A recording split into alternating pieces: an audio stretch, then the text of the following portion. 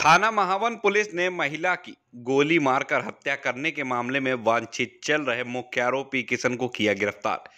भेजा जेल। आपको बता दें कि एक दिसंबर को महावन कस्बे की रहने वाली शीला देवी की आरोपी किशन के द्वारा प्रेम प्रसंग के चलते गाँव नगला खेमा रोड पर गोली मार दी गई थी, जिसके उपचार के दौरान मौत हो गई थी। मृतका के सास के द्वारा महावन थाने में चार आरोपियों के खिलाफ मुकदमा दर्ज कराया गया, जिसमें तीन नामजद, एक अज्ञात था, जिसके चलते पुलिस द्वारा इस मामले में जाँच शुरू कर दी थी। जाँच में सामने आए दो आरोपियों को पुलिस ने पहले से ही जेल भेज दिया था।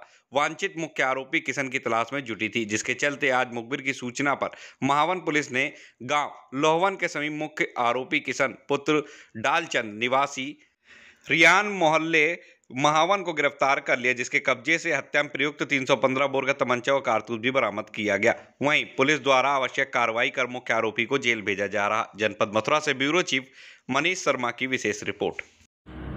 थाना महावन जनपद मथुरा में विगत दिनांक एक दिसंबर को एक महिला की हुई हत्या के आरोप में मुख्य आरोपी किशन सनाब डालचंद निवासी महावन को गिरफ़्तार किया गया है।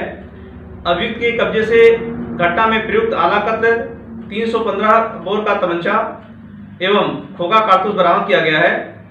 अभियुक्त के दो साथियों को पूर्व में जेल भेजा जा चुका था। इस प्रकरण में अन्य शासन करते हुए बेचना का शीघ्र ही निस्तारण सुनिश्चित किया जाएगा।